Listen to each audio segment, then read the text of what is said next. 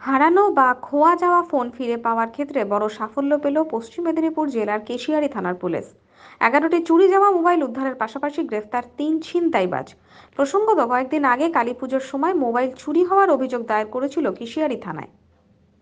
অভিযোগ পেয়ে তদন্তে নেমে তিনজন ছিনতাইবাজ সহ এগারোটি মোবাইল উদ্ধার করে পুলিশ। শুক্রবার এক সাংবাদিক বৈঠকে জানান, বেলদা পুলিশ মহকুমা আধিকারিক সুমন কান্তি ঘোষ, কেশিয়ারি থানার আইসি বিশ্বজিৎ হালদার।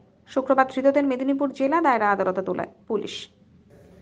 এই কাজে আমি আমার টিমকে ধন্যবাদ দিচ্ছি, বিশেষ করে আইসি কেশিয়ারি, আমাদের সাব ইন্সপেক্টর নন্দন ভট্টাচার্য এবং এএসআই তুষার কান্তি Ghosh.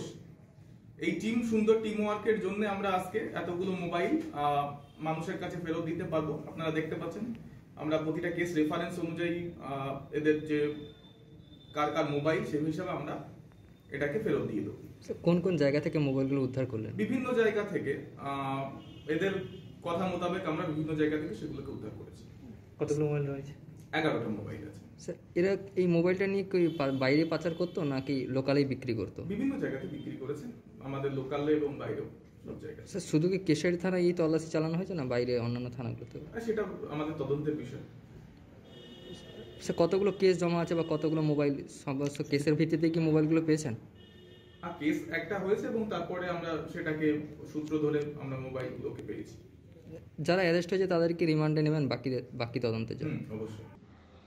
Bureau report Times Bangla.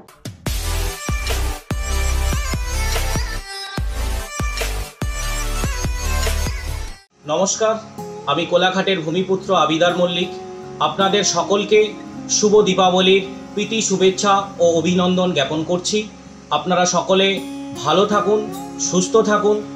স্বদেশি পণ্য গ্রহণ এবং বিদেশি পণ্য বর্জনের মাধ্যম দিয়ে মৃতপ্রায় মৃৎশিল্পীদের হাতের তৈরি প্রদীপ জ্বালিয়ে আপনারা সকলে শুভ দীপাবলি উদযাপন করুন এবং কোভিড নাইন্টিনকে মাথায় রেখে সকলে মাস্ক পরিধান করুন এবং স্যানিটাইজার ব্যবহার করুন।